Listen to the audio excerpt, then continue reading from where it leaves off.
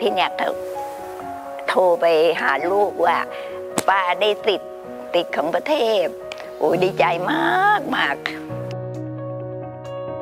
เมื่อมีโครงการนี้ดีมากเลยนะ พอป้ามาแล้วโหมันมันมันดีมากเลยอะทำให้หายทำให้หายปวดหายเจ็บ ดีว่าได้โครงการนี้มาช่วยชีวิตไว้ ก็เรียกว่าซาบซึ้งในโครงการของพระองค์ท่านทั้งหมดละตื้นตัน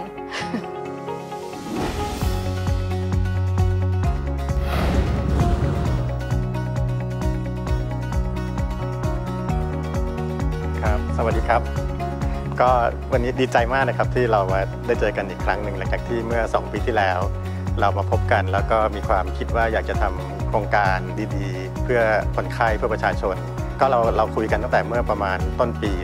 2564 เราได้คิดว่ากฎเกณฑ์ของระเบียบของการเบิกจ่ายเนี่ยของการรักษาของโรค ปวดข้อไหล่หรือปวดข้อศอกหรือปวดข้อเท้าเนี่ยต้องใช้เงินส่วนเกินราคาสูงนะครับทำให้คนไข้กลุ่มนี้เนี่ย ถูกทอดทิ้งไป เราก็เล็งเห็นความไม่เท่าเทียมตรงนี้ ทางวชิรพยาบาล ก็เลยได้จัดทำโครงการที่มีชื่อว่าโครงการผ่าตัดเปลี่ยนข้อไหล่ข้อศอกและข้อเท้าเทียม เพื่อผู้ป่วยยากไร้ 66 ข้อ เพื่อเฉลิมพระเกียรติกรมสมเด็จพระเทพรัตนราชสุดานะครับบัดนี้นะครับโครงการก็ประสบความสำเร็จเป็นอย่างดีนะครับเราก็ผ่าตัดคนไข้ไปได้ทั้งหมดแล้วฮะ66 ข้อนะครับผู้ป่วยทุกคนก็มีความสุขดีนะครับ สามารถกลับมาทำงาน สามารถกลับมาใช้ชีวิตได้อย่างดีขึ้นนะครับ ไม่เป็นภาระของ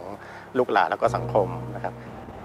ตอนเป็นมันจะยืดแขนหรือทำอะไรมันก็ปวดอะจะยกมือทานข้าวก็ไม่ได้ ข้างนี้นึกว่าเอ็นฉีกแล้วหลุดไปแล้วหัวไหล่ก็จะหลุดเอ่อกระดูกมันผุ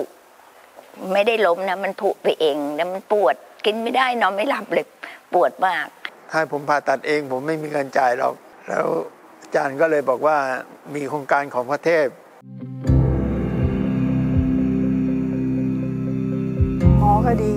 พยาบาลก็ดี ดูแลดีค่ะ หมอน่ารักมาก หมอทุกคนดีมาก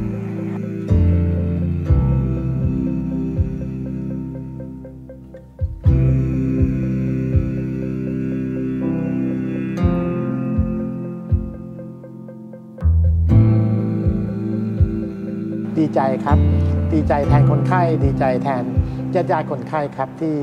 ทางพี่หมอกับทางคณะแพทย์ของวิชาพยาบาลได้ ช่วยผ่าตัดเปลี่ยนข้อเป็นที่เรียบร้อยแล้วครับสำหรับผมก็อยู่ในฐานะของสื่อครับ มาในนามของสถานีข่าวโทรทัศน์ TNN และกลุ่ม True Vision Group ครับ เราก็เลยอาสาที่จะทำงานด้านการประชาสัมพันธ์ให้กับโครงการ เพราะเราแคร์ทุกคน We care See care ช่วยด้วยใจให้ด้วยรัก คือนอกจากประเด็นผู้สูงอายุแล้วเนี่ยค่ะก็ยังมีประเด็นเรื่องของผู้ป่วยยากไร้นะคะ ที่ยังไม่สามารถที่จะเข้าถึงการรักษาโดยที่ไม่มีภาระค่าใช้จ่ายนะคะ เมื่อนึกถึงโครงการผ่าตัดข้อไหล่ข้อศอกข้อเท้าเทียมนะคะทางสถาบันวิจัยนโยบายสรีการคลังก็มองว่าจะทำให้คุณภาพชีวิตของผู้ป่วยนะคะ ซึ่งเป็นผู้ยากไร้นะคะ สามารถที่จะ กลับมาสู่การดำรงชีวิตอย่างเป็นปกตินะคะ แล้วก็มีการประกอบอาชีพได้เป็นอย่างเดิมนะคะ ก็สถาบันวิจัยนโยบายเศรษฐกิจการคลังก็เลยมีความยินดีเป็นอย่างยิ่งนะคะ ที่จะได้ร่วมสนับสนุนนะคะ ทางที่สองที่ก้อยแล้วก็ทางตัวติ๊กเองนะคะ ก็ได้เห็นผู้ป่วยนะคะ ได้เห็นทีมแพทย์ แล้วก็ทีมพยาบาลนะคะ ของคณะแพทยศาสตร์วชิรพยาบาล ซึ่งดูแลผู้ป่วยนะคะเป็นอย่างดีนะคะ ก็ยิ่งมีความปลื้มปิติเป็นอย่างยิ่งนะคะ ที่เอ่อได้ทำโครงการนี้นะคะ ถวายสมเด็จพระเทพรัตนราชสุดาสยามบรมราชกุมารีนะคะปีที่ผ่านมาแล้วก็มาถึงต่อปีนี้เนี่ยเราต้องบอกว่าเราเข้าสู่สังคมผู้สูงอายุ อย่างเต็มรูปแบบ การที่มีโครงการดีๆ แบบนี้ก็เท่ากับเปิดโอกาสได้ช่วยเหลือผู้ป่วยที่ยากไร้นะคะแล้วก็นักศึกษาทุกคนก็หลาย ๆ ท่านก็ระดมนะคะทุนในการที่จะเข้ามาช่วย แล้วก็ยังได้รับเกียรติจากคุณหมอเมสันไปบรรยายให้กับพวกเราได้รับรู้ว่าโรคที่เกี่ยวกับทางข้อต่างๆ ที่เกิดขึ้นเนี่ยมันมีวิธีการในการที่จะดูแลและรักษาอย่างไร นะคะ อันนี้ก็เป็นโครงการดีๆ ที่ทางหลักสูตรไฮด้าดีใจมาก ๆ ที่ได้มีส่วนร่วมในการที่จะเป็นอีกหนึ่งพลังในการช่วยเหลือสังคม แล้วก็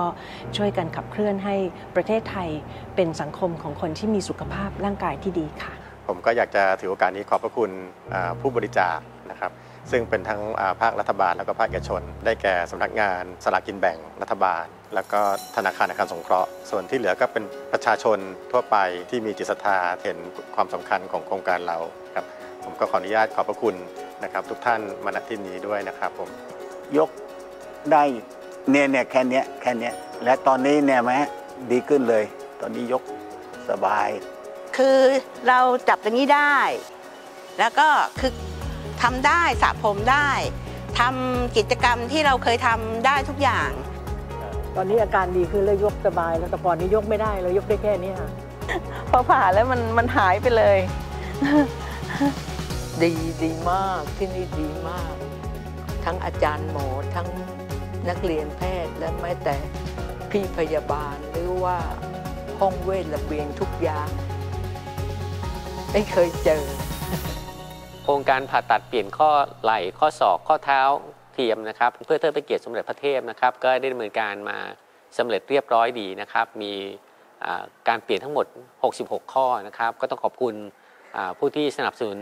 ทุกท่านนะฮะโดยเฉพาะผู้ที่บริจาคร่วมกันเข้ามาในโครงการในครั้งนี้นะครับ ก็หวังเป็นอย่างยิ่งว่าในโอกาสต่อไปนะครับ ก็จะยินดีที่จะสนับสนุนโครงการของวิชรพิวานต่อไปนะครับ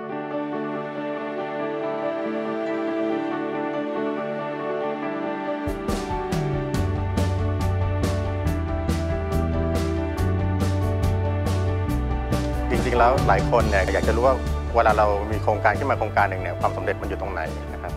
ผมคิดว่าความสำเร็จของเราเนี่ยคือสิ่งที่อยู่ตรงหน้าเรานี่แหละ เราเห็นคนไข้ของเราที่เคยเจ็บป่วย มีความทุกข์ทรมานจากโรคที่เป็นเนยนะครับ ได้รับการรักษาทำให้คุณภาพชีวิตทำให้ชีวิตของคนไข้แล้วก็ของครอบครัวมีความสุขขึ้น อันนี้คือเป้าหมายสูงสุดละของโครงการนี้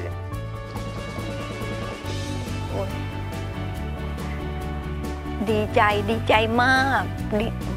ดีใจสุดๆเลยค่ะไม่รู้จะพูดยังไงพูดมันมันตื้นอ่าต้องขอขอบคุณโรงพยาบาลวชิระครับ แล้วก็คุณหมอที่ให้คำแนะนำให้เข้าโครงการของสมเด็จพระเทพ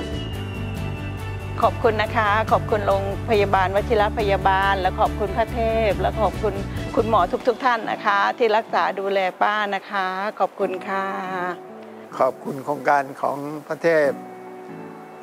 ที่ช่วยทำให้ผมมีวันนี้ฮะ ต้องขอขอบคุณคุณโรงพยาบาลวชิระพยาบาล แล้วก็ขอขอบคุณอาจารย์สุธีแล้วก็คุณหมอ คุณพยาบาลทุกท่านเลยค่ะ ขอบพระคุณโครงการของพระเทพ ที่ท่านดูแลราษฎรที่ผู้ยากไร้นะครับ